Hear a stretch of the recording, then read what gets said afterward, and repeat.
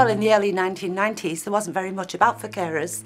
I've been in my role as manager here for the last 12 years, but before that, into, at the beginning in the 90s, uh, there was a lot of carers that were looking for a, a break, a regular break, and there was nothing there for them. We've been going from strength to strength ever since then, looking after carers, and then we expanded many years ago into taking care of the, the care needs of elderly people that lived on their own so that their health and well-being could be recognised to maintain their own independence at home for as long as they wanted to be at home.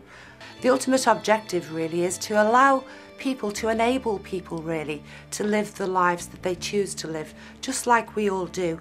It's entirely personalised. It's been personalised since day one and the way we do that is through absolute special matching of the family, the individual and the volunteer to address all their needs together so that uh, really it's a spider's web of benefit across the whole community.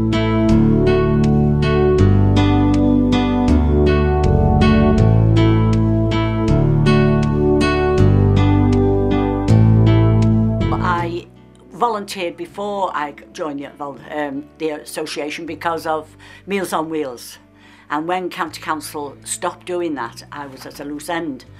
And I heard about uh, the sitting in service, so I thought, reading their brochure, I thought that's just me because they want people to sit and talk to other people. And I thought, that's me, I could talk for England. Yeah. Gosh, I couldn't I can't list everything, but if I didn't have the sitting in service or volunteer work like that, I think I'd just go into myself. Um, I, I do a lot of knitting and crocheting. I could stay in my flat 24-7, but I don't because that wouldn't be good for me. Health-wise, it wouldn't be good for me.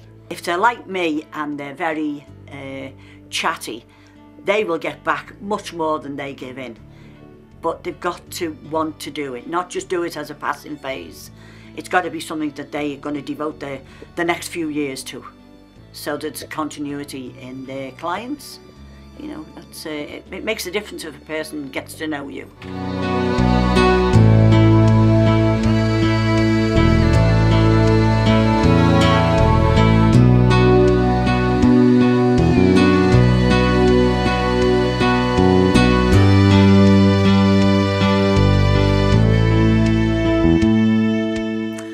Is free and it's a wonderful service. I really don't know what we would do without it.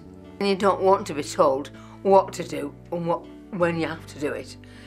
You don't want anybody coming at seven o'clock in the morning to say you've got to get up. You want to get up when you feel like it. You want to go to bed when you feel like it. You don't want to go to bed at five o'clock. That's five. So it would cost the country a lot, lot more money if everybody went into a home who needed to go, which we don't need by having this service, was free. They're doing a wonderful job at volunteering mm. to do this job. We get a smile every now and then, don't we? Yes, we do. We have a little laugh every now and then, yes, we do. There are people here that will do something for nothing. They always say to me, why would a volunteer want to come and do this for me? What, how much is it? Why do they get what do they get out of it? Surely they don't want to do it. The volunteer gets a massive amount. I've had volunteers saying to me when I've thanked them and recognised them through certificates and, and those sorts of things, don't thank me, I should thank you for giving me the opportunity because my life has changed because of the organisation and that's not, uh, that's not a made up um, story.